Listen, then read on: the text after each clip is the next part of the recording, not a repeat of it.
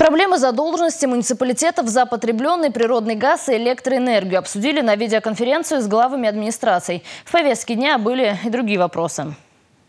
С начала отопительного периода задолженность только за газ увеличилась на 29%.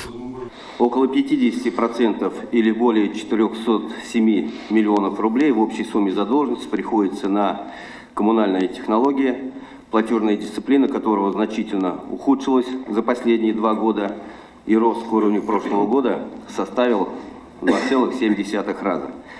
Задолженность бюджетных учреждений составила 12,4 миллионов рублей. Несмотря на постоянный контроль со стороны органов власти республики за решением вопроса погашения администрациями муниципальных образований задолженности за природный газ, уровень расчетов, к сожалению, остается низким. Более 10 раз этот вопрос обсуждался на различного рода совещаниях. Были составлены графики выплат. Но только пять муниципалитетов согласовали план погашения задолженности. Значительная сумма просроченной задолженности сохраняется за администрациями и теплоснабжающими организациями. Это Вурнавского района сумма просроченной задолженности 6,8 миллионов рублей. Следующий слайд, пожалуйста, покажите. И Бресненского района 9,9 миллионов рублей. Козловского района более 21 миллионов рублей.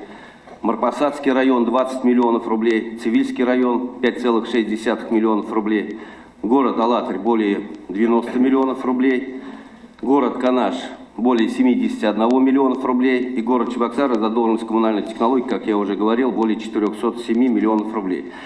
Не снимая с себя ответственности за сложившуюся ситуацию, глава ведомства все же напомнил, что графики погашения долгов разрабатывают муниципалитеты совместно с теплоснабжающими организациями. Они же и должны направить их для согласования «Газпром Межрегион Газ Чебоксары». Министр экономического развития доложил о работе многофункциональных центров. На сегодня в республике функционирует 28 МФЦ, где работает 191 окно. Еще 1218 открыты в модельных библиотеках. Серьезной проблемой остается кадровое обеспечение МФЦ. Специалистов явно не хватает. Участники совещания обсудили тему неформальной занятости населения. Более 162 тысяч жителей республики трудоспособного возраста работают по серым схемам. От них не поступают отчисления в пенсионный фонд, фонд обязательного медицинского страхования. Республиканский бюджет недополучает примерно полтора миллиарда рублей в год. Татьяна Молкова, Республика.